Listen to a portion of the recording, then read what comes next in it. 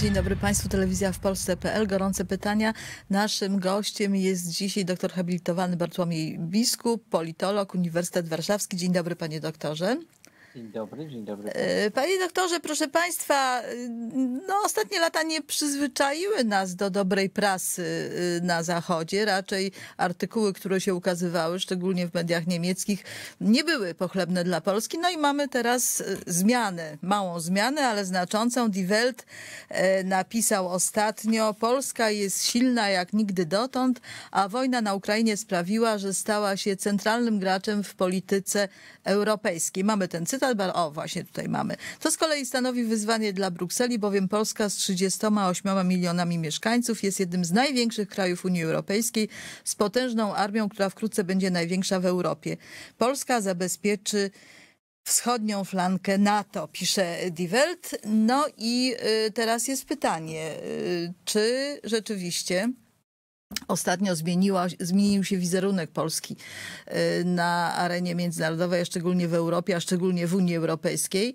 I czy y, nie tylko y, to, co się dzieje za wschodnią granicą Polski, zaangażowanie Polski po stronie Ukrainy walczącej z rosyjskim agresorem sprawiło, że Polska tę pozycję wzmocniła, ale także to, co się dzieje w gospodarce, bo należy stwierdzić, że wobec pewnej stagnacji, która panuje w gospodarce europejskiej. Niemcy, e, Francja, e, czy wręcz e, zapaści, jak to jest na południu Europy, to jednak te wyniki są imponujące, a szczególnie ostatnio nadwyżka budżetowa za pierwsze półrocze, która no, tak zaskoczyła rząd, że nawet nie przewidziano tego w projekcie, w budżecie, który zaplanowano na 2022 rok. Jak pan to ocenia? Jak pan to widzi? Czy to jest taki rodzynek w tym cieście trochę skwaśniałym, kwaśniałym wizerunku Polski, czy rzeczywiście to widzenie Polski na Zachodzie zaczyna no, troszeczkę się polepszać?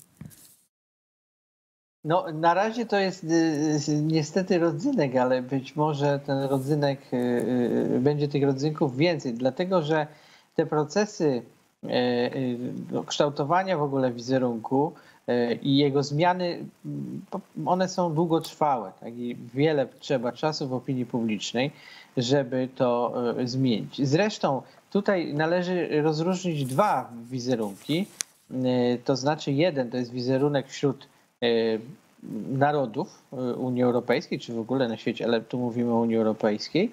I tu mamy dostępne na ten temat badania na bieżąco właściwie, jak to się zmienia, czy się zmienia, czy się nie zmienia, kto nas lubi, kto nas nie lubi, tak samo jak my też, które narody bardziej cenimy, a które nie ale czym innym troszkę jest ten wizerunek e, elit.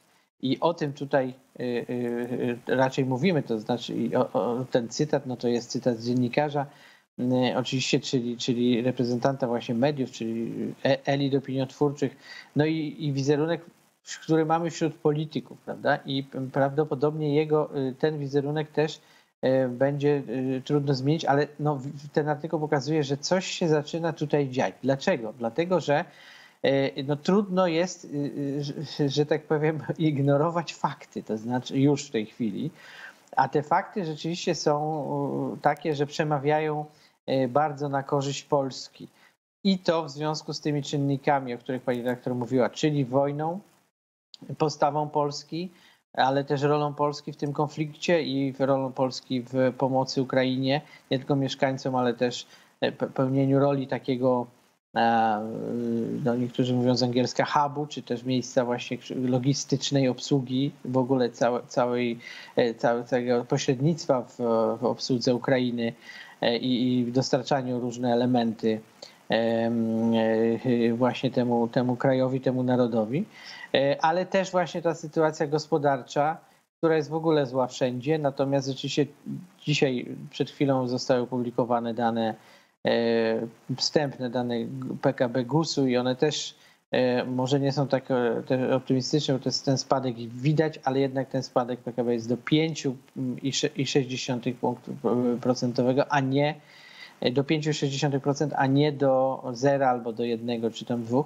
Czyli tutaj cały czas jesteśmy tym, można powiedzieć, środkowoeuropejskim tygrysem, więc ta rola rzeczywiście wzrasta I te fakty właśnie no, zaczynają niektórzy doceniać. To znaczy, no, szczególnie tutaj Niemcy, którzy no, bardzo tę rolę swoją, można powiedzieć, poddali, zminimalizowali przez te błędy polityczne ostatnich miesięcy, słusznie się też obawiają, że na to miejsce ktoś inny wejdzie. Może nie tak, no nie będzie taki tandem Francja-Polska na pewno, bo tutaj Francja też, mm, ona nie idzie tym samym kursem co my. Ale ja myślę, że tutaj dobrym rozwiązaniem jest e, e, wzmocnienie naszej pozycji też tu na osi północ-południe, czyli krajów, które bardziej rozumieją e, to, co się dzieje na Ukrainie dzisiaj, mm, bo są też bliżej, bo też mają doświadczenia historyczne i polityczne związane z, z Rosją e, i ze Związkiem Radzieckim. E, no i rzeczywiście wyrasta tutaj dla Niemiec y, taki coraz groźniejszy konkurent polityczny. Ja to mówię w sensie takim nawet i pozytywnym, bo, bo tutaj potrzeba jest w Unii Europejskiej trochę zmiany kursu.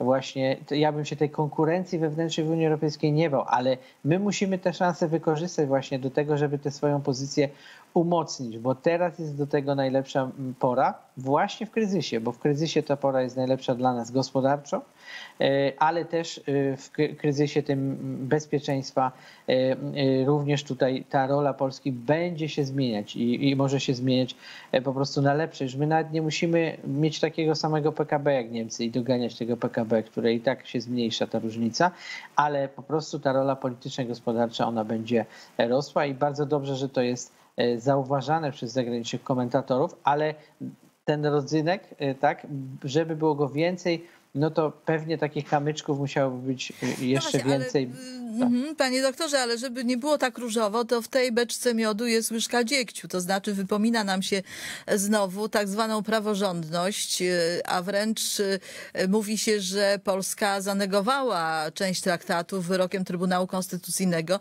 co jest o tyle nieprawdą, że Polska tego nie zrobiła. Polska tylko uznała, że w tej dziedzinie, w tych dziedzinach, które nie są y, objęte mm, w traktatach przekazaniem kompetencji Unii Europejskiej, nie obowiązuje nas stanowione y, inne źródło prawa, jak na przykład wyroki Trybunału Sprawiedliwości Unii Europejskiej. I to jest, i to jest y, ten, y, no, główna oś sporu pomiędzy Polską a Komisją Europejską.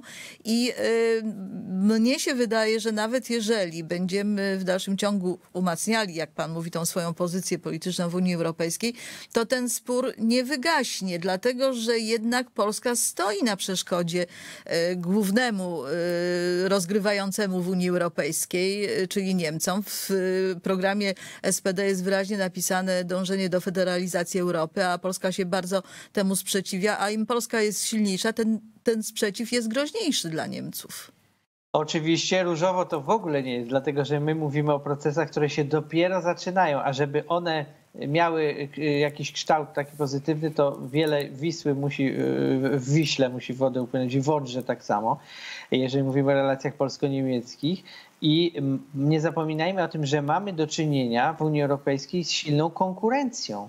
Nie tylko ze współpracą, ale też z konkurencją państw, które no, po prostu walczą o swoje interesy. Każdy ma swój interes gospodarczy, interesy y, no, też bezpieczeństwa, interesy swoich obywateli, swoich firm swoich przedsiębiorstw i Niemcy o to cały czas walczą i my też walczymy i też powinniśmy to robić cały czas. W związku z tym właśnie to, o czym mówiliśmy w pierwszej części e, naszego spotkania, e, no jest takim dzwonkiem ostrzegawczym dla Niemiec i wydaje się, że dzisiaj Niemcy właśnie tym bardziej będą e, no, naciskać na Komisję Europejską, żeby jednak tych pieniędzy z KPO nie było. I tutaj widać to doskonale, po ostatnich przejściach i ostatnich y, y, y, decyzjach. To znaczy, że pomimo uzgodnień, to po pierwsze, dwa, uchwalenia konkretnych przepisów, pieniądze z KPO nie, nie popłynęły i prawdopodobnie jeszcze nie popłyną. No i dlaczego tak się dzieje? No, te kraje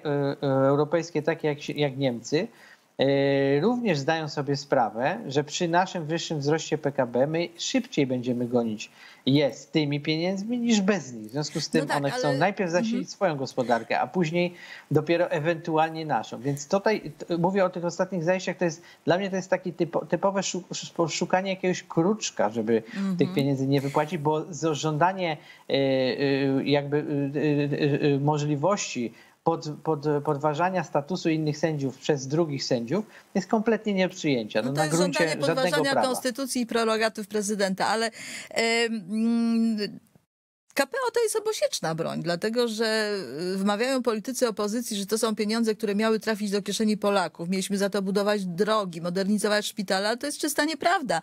To jest w dużej mierze, w większości pieniądze przeznaczone na transformację energetyczną, czyli na ten nieszczęsny plan Fit for 55. A my nie chcemy tego w taki sposób y, realizować. Ale wracając jeszcze do tego, co pan powiedział o umacnianiu roli po, Polski y, w Europie. Jakoś tak na boku zostały kwestie, które wydają się, że mają, mogłyby Polskę jeszcze bardziej wzmocnić, czyli kwestia Międzymorza. Ja już nie wspominam o tym, że no, trochę w czarnych barwach rysuje się przeszłość, y, przyszłość Grupy Wyszehradzkiej w związku ze stanowiskiem Węgier wobec tego, co się dzieje y, na Ukrainie.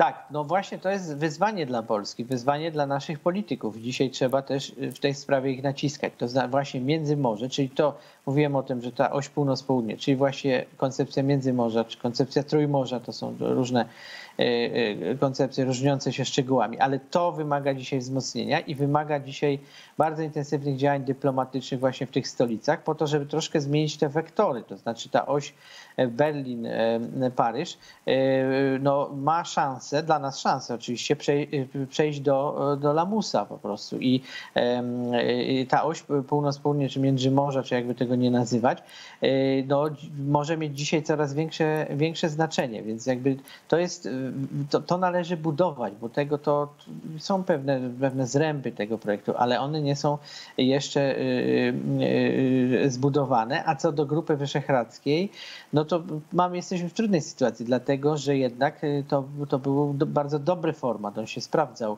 No i wydaje się, że dzisiaj jedyną na to drogą dyplomatyczną jest takie przeczekanie, czy wzięcie trochę Węgier na przeczekanie y, i współpraca ścisła, która jest cały czas z Czechami i Słowacją. Natomiast y, ten partner węgierski, no wydaje się, powinien na dzisiaj pozostać w takiej zamrażarce, ale tak czy siak Grupa Wyszehradzka, ona się mieści w tej koncepcji Międzymorza, czy też Trójmo- Trójmorza, ona jest po prostu takim bytem e, jakby tutaj dodatkowym, który, który po prostu dłużej funkcjonował znacznie, bo przecież już od lat y, 90. funkcjonuje Grupa Wyszehradzka, w związku z tym on- ona ma długie tradycje, mamy długie tradycje współpracy, więc jakby wy- wydaje się, że to dzisiaj jest taki, no, trudno oceniać tak, bo nie mamy perspektywy odpowiedniej, historycznej, politologicznej, ale tak można powiedzieć, zaryzykować tezę, że to jest historyczny moment, że można dzisiaj próbować przebudowywać polityczną architekturę europejską, czy też Unii Europejskiej, no z tym innym miejscem Polski, na pewno mocniejszym e, na tej arenie Unii i na tej arenie międzynarodowej, no za czym w przyszłych latach też powinny iść, iść e, większe korzyści dla,